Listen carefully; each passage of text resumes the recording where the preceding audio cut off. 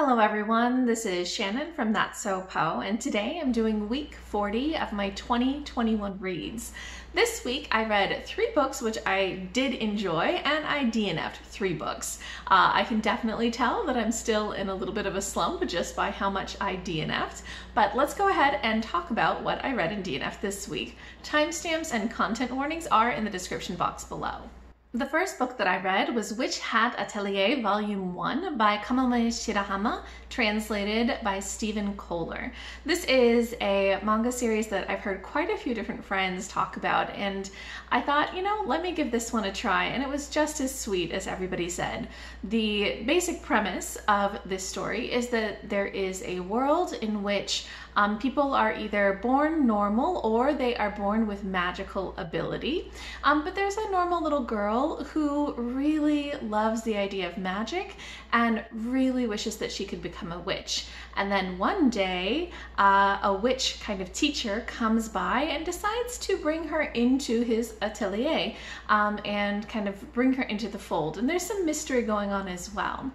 This is such a beautifully illustrated manga. I really, really love the illustrations. They're just so, you know, gorgeous in the line work and in the, the kind of fantastical way that magic and outfits, lots of beautiful clothes are drawn. It's, it's a really gorgeously illustrated manga, like definitely worth picking up just for the artwork alone.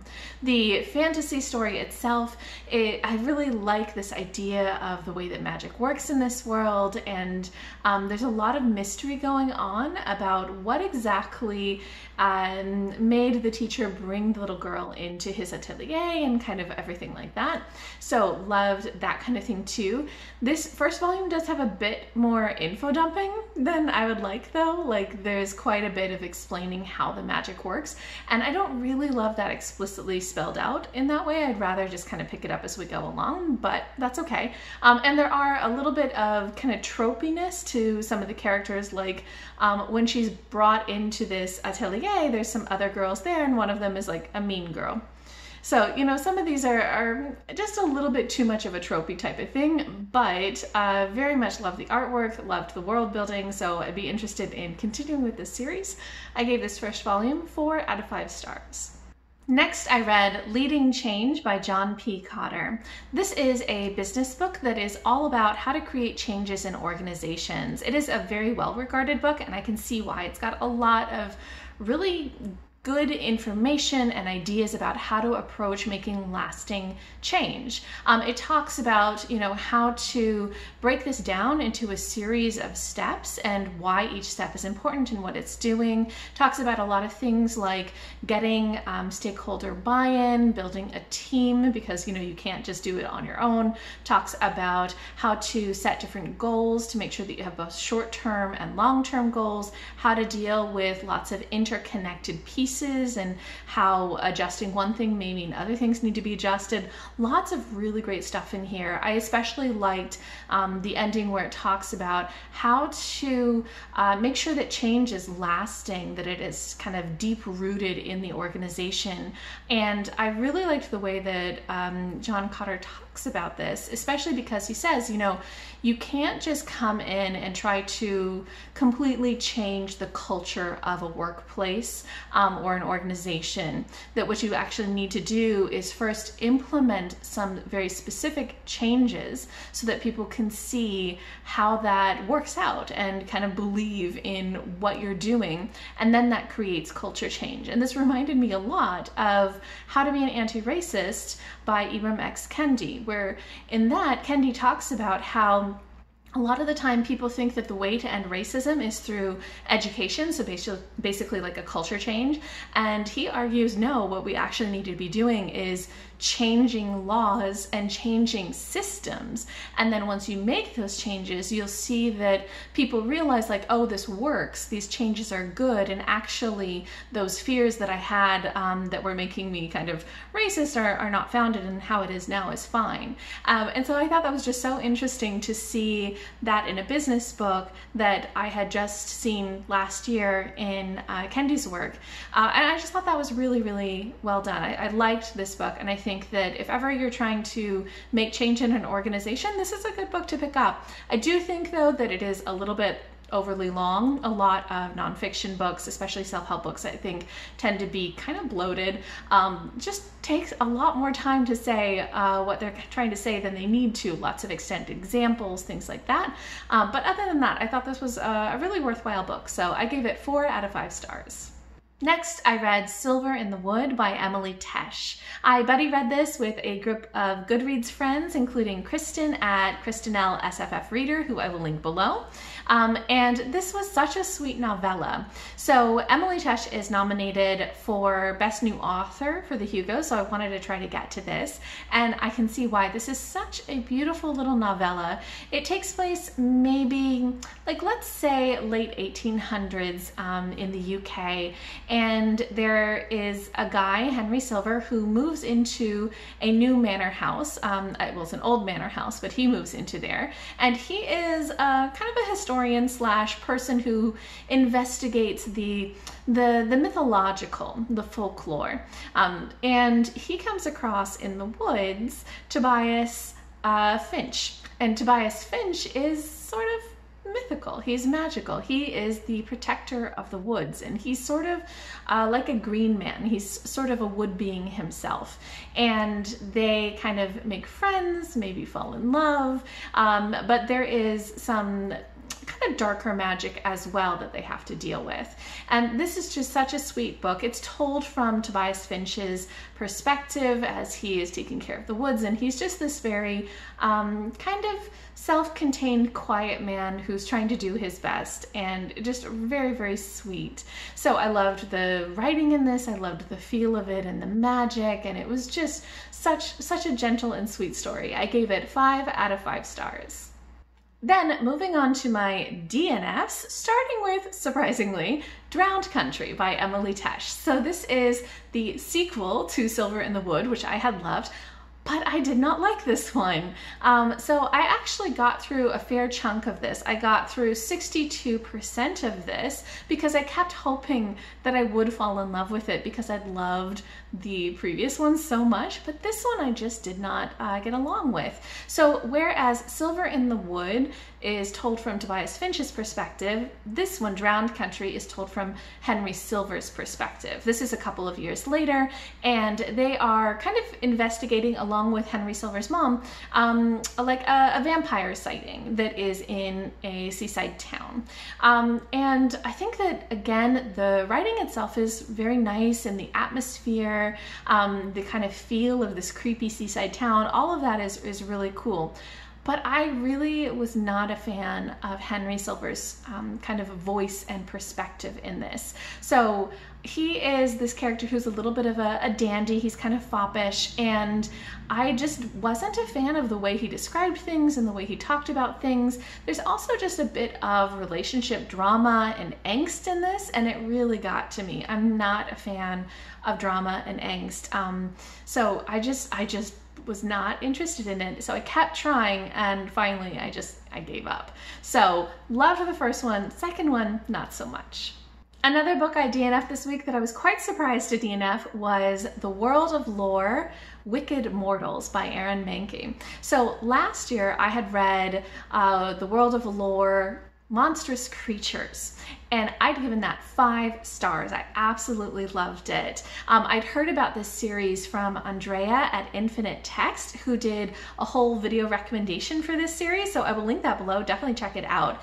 And so when I had read the Monstrous Creatures volume, it's like a trilogy, last year, I'd been so excited. I thought, oh, every year um, for the next three years, I'm going to read one of these. So I picked up Wicked Mortals this year, not for me. So this is basically, um, I think, basically a, a novelization, not novelization, a, a, written form of a podcast that Aaron Mahnke does all about folklore.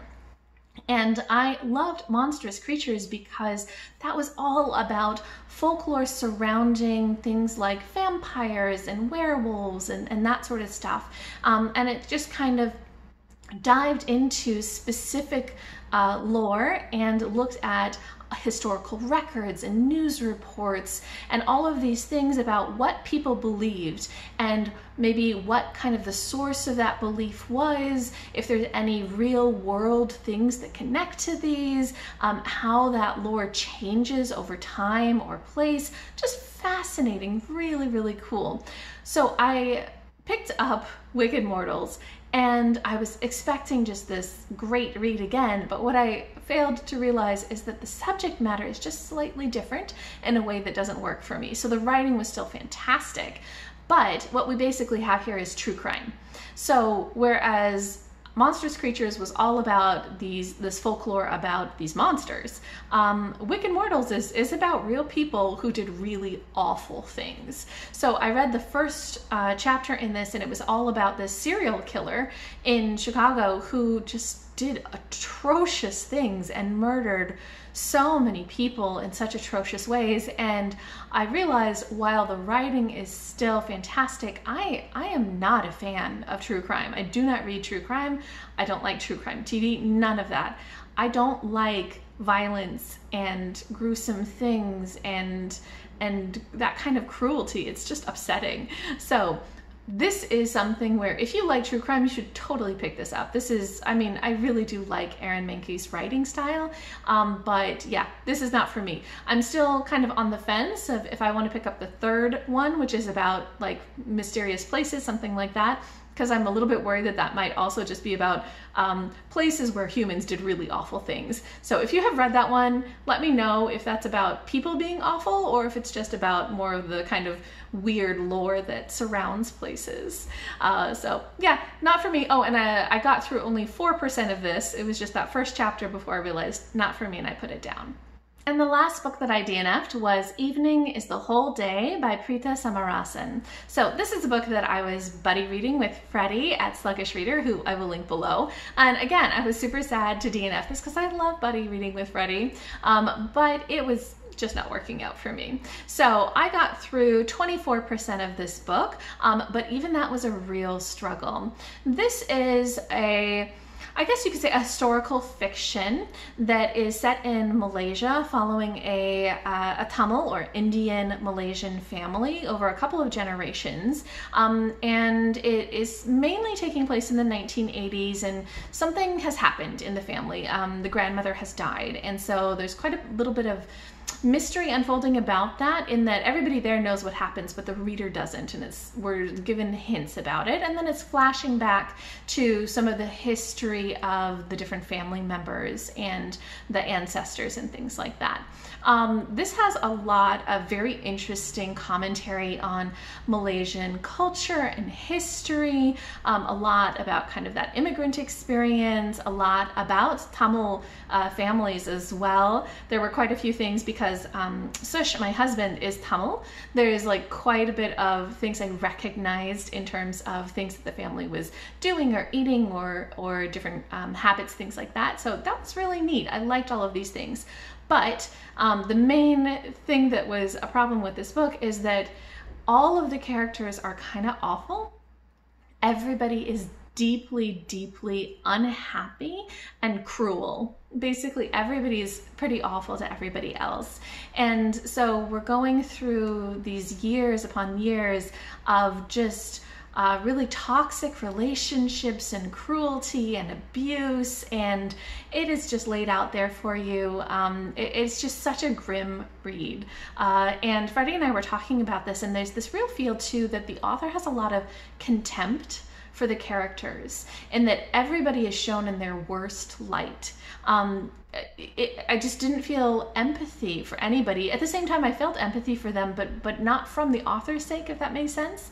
Um, but I almost felt sorry for them for the way that they were being treated by the book because it was just this brutal, harsh light um, on all of them. So that was just not for me. And the writing it style itself was just also not for me. It was very, very flowery, very um, kind of verbose and overly descriptive, so much so that sometimes it just felt like the style of the writing itself was taking up more page space than the story, if that makes sense. So it was just overdone for me. So this was not a book for me, um, even though I do think that the kind of cultural and historical things are, are quite interesting.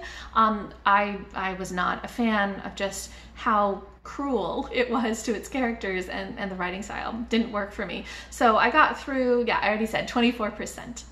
Okay, so that is everything that I read and DNF'd this week. I can really tell that I am still struggling with my reading. I am just still in a little bit of a slump where I'm totally happy to read, but if something isn't working for me, I'm pretty much just DNFing it right away. Um, and I'm just not in the mood to kind of challenge myself with more reading. So going forward for the rest of the year, I think I'm just gonna continue with my very gentle approach to my reading and my booktube making, which is reading and filming what I'm up to and not kind of pushing myself or challenging myself to do too much more than that. So um, I had said for September that I wasn't going to do any monthly priorities. I think I'm just not going to do any priorities for the rest of the year. Um, I'm also just uh, adding a TBR onto things is just way more uh, kind of pressure than I want to deal with right now. Um, but I am still trying to read, and there are a couple of readathons happening, that sort of thing, which